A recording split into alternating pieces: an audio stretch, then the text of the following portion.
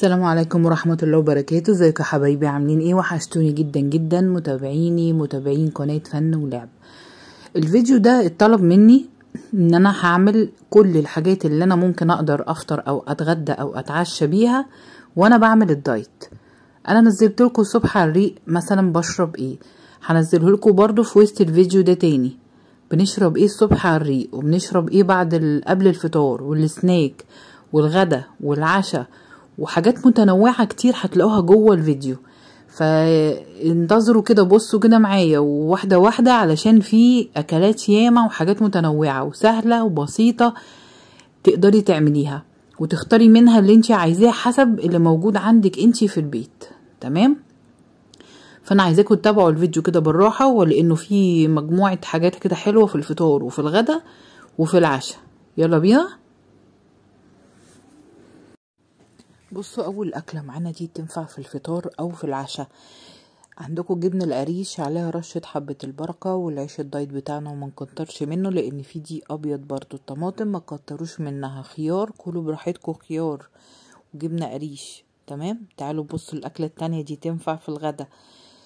دي فراخ بانيه. الفراخ البانيه هتتبل عادي خالص تمام؟ وتشكيها كده طبعا. طيب عندنا إيه تاني بقى؟ هتديها تشويحة كده على في الطاسة تمام؟ وبعدين هتجيبي. التشويحة دي كأنك بتسويها طبعا. آه هتجيبي بقى المشروم ونقطة زيت وتوم وبصل وهتحطي معلقتين زبادي ده الصوص بتاعك. وتحطي فيها الفراخ تمام؟ ونفس الصوص ده هتحطيه على بطاطس مهروسة وتفرديها في الطبق. طبعا الفراخ هتكون استوت مع المشروم تمام؟ هتحطيها في الطبق فوق البطاطس وتاكليها بالشوكة أحلى وجبة غدا. دي وجبة غدا تالتة. حاجة تالتة تالت حاجة معانا بقى. الصينية دي فيها كل أنواع الخضار معاها فراخ وبصل وطماطم وكوسة ودخليها الفرن وتتبليها طبعا. رابع حاجة معانا السناك اللي أنا كنت عاملاه لكم قبل كده. الفلفل الأخضر الأصفر الأحمر أي حاجة ده مهم جدا. ده السناك بعد الفطار بساعتين. هتفتحيه وتشيلي البذر بتاعه وتحطي جواه حتة جبنة قريش معلقة كده عليها شوية بقى رشة فلفل وزعتر خشن زيتون رشة حبة البركة إيه شوية سمسم. ده السناك تشبعي جوعك كده أو تسدي جوعك قصدي بعد الفطار كده ده بساعتين تمام؟ تعالوا بقى نشوف الأكلة اللي جاية دي. تنفع برضو وجبة غدا متكاملة. معاكي خس بتقطعيه شرايح ومعاكي خس جزر بتقطعيه سلايس رفيع قوي كده. ومعانا بصل بتقطعيه مكعبات صغيرة جدا. تجيبي بقى الطاسة تحطي معلقة زيت كده صغيرة وتقومي حاطة فيها كل ده تديله تشويحة وتجيبي بيضتين اتنين اتنين بيضة تحطيهم معاهم في الطاسة كل دول على بعضيهم والملح والفلفل ودبس رمان ومعلقة صلصة صغنططه جدا وتقلبي كل ده بقت وجبة متكاملة وتاكليها بالشوكة من غير عيش. تعالوا نشوفوا الأكلة اللي بعدها رقم ستة. هتجيبي اللحمة المفرومة وتتبليها كويس قوي والبصل والبهارات بتاعتها وتعمليها كور وهنديها تشويحة في نقطة زيت في الطاسة على النار وهنركنها على جنب شوية. تمام؟ طيب ركناها على جنب شوية. هنحضر إيه بقى معانا؟ طاسة تانية. هنحط فيها معلقة زيت وهنحط فيها بصلاية مفرومة وهتحطي شوية بطاطس متقطعة مكعبات وتديها تشويحة حلوة قوي قوي قوي وهتتبليها تحطي الملح والفلفل والبهارات بتاعتك ومعلقة الصلصة. خدوا بالكم إن إحنا ما بنحطوش دهون كتير. ده الأكل الصحي وكركم وكاري والحاجات الحلوة بتاعت البهارات بتاعتنا دي والجنزبيل طبعا عشان بيحرق الدهون. أي بقى نوع خضار عندك بسلة فاصوليا جزر حطي كل ده مع بعضه وتحطي شوية شوربة عليه أو شوية مية سخنة وتقفلي عليه البطاطس بس تستوي وإحنا already اللحمة المفرومة مدينها تشويحة. هنفتح بقى عليها بعد ما استوت هنحط الكور بتاعت اللحمة بعد ما استوت وتسيبيها شوية وأحلى وجبة غدا تاكليها من غير عيش. بالشوكة. هتشبعك جدا. تمام؟ ممكن تحطي بقى جنبيها طبق سلطة متكامل تاكليه الأول تشبعي بيه نفسك كده وتاكلي جزء من الطبق التاني وبالهنا والشفا. تعالوا بقى نشوفوا البيتزا بقى. مش هنحرم نفسنا. ناكلوا بقى بيتزا بقى. بصوا العيش الدايت. تمام؟ حطي بقى كده المكعبات العيش وحطي رشة الصلصة بسيطة جدا وتكون عندك بقى حتة فرخة تفرفتيها تمام؟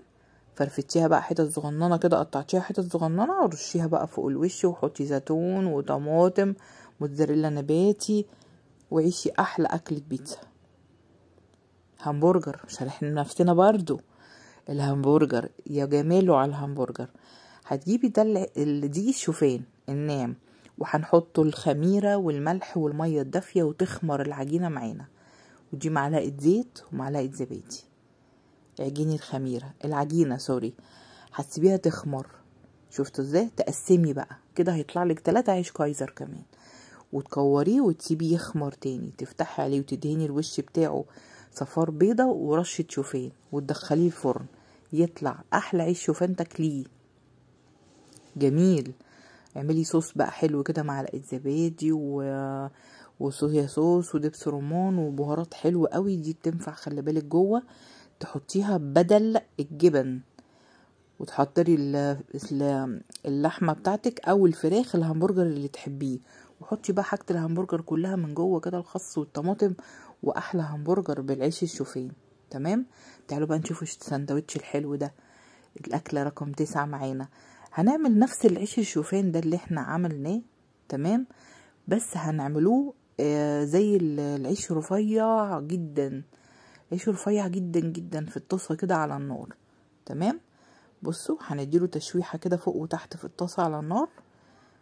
وهش وجميل هنحضر الفراخ بتاعتنا ستريبس بقى. نحط بقى البهارات والدبس رمان والمستردة والزبادي وتبلناها التتبيلة الحلوة دي. وبعدين حطيناها في الدقيق والبيض والبقسماط بتاعنا أو الكريسبي اللي انت تحبيه يعني. تمام؟ وهتشوحيه على النار. هتكوني جايبة جايبة بنجر وجايبة حمص وجايبة بدل صوص الطماطم يعني كتغيير وتدهني بيه وتحطي عليه الخس والطماطم والفراخ وتاكلي أحلى سندوتش كده صحي. صحي صحي يا جماله. نخش على الجمبري. ما بس من الجمبري شوية. عشان الكوليسترول. تمام؟ هتحطي في الطاسة آه، حتة زبدة كده صغننه قوي وتحطي شوية فلفل ألوان وتديهم تشويحة وملح وفلفل بهارات بتاعتك وكريمة لباني بس خلية الدسم ونقطة زيت وشوية بهارات إيه بتاعت الأسماك. تمام؟ والكمون والملح وتديهم كده تسوية كده حلوة مع بعضيهم وتكوني جايبة بقى طاسة فيها برضو نقطة زيت صغيرة وتحطي شوية مية معاها وتحطي شوية بطاطس والكابوريا والجمبري والذرة بقى الحلوة لو انت عايزة بقى ذرة حلوة أو مش عايزة بس جميل خلي بالك في الأكلة دي. عشان الأكلة دي كمان هتحطيها بعد كده جوه كيس حراري والصوص بتاعها وطلعت من الفرن وكلي بقى أحلى أحلى جمبري وأحلى كابوريا. بصوا الأكلة الأخرانية دي تنفع في الفطار وتنفع في العشاء. برضو العيش الدايت ده وتحطوا جبنة وخيار. وخلي بالكم ممكن على العشاء بالليل أحلى حاجة أنا بعملها شخصيا زبادي وعليها نص ليمونة وعليها معلقة قرفة بدل كل الحاجات دي كلها بتحرق سعرات حرارية عالية جدا. زي نزلته لكم الفيديو ده قبل كده في قناة فن ولعب. يا رب تكون عجبتكم متنسونيش بال like و subscribe وتفعلوا الجرس. الجرس ما تنسوش الجرس وتعملوا لي ال like وال subscribe أنا بقول لكم تاني عشان ما تنسوش عشان أنا بحبكم جدا. ويا رب تكون قناة فن ولعب بتقدم لكم كل جديد. واستمروا معايا في موضوع الرجيم وإن شاء الله هتلاقوا نتيجة جميلة حلوة جدا جدا جدا. مع السلامة.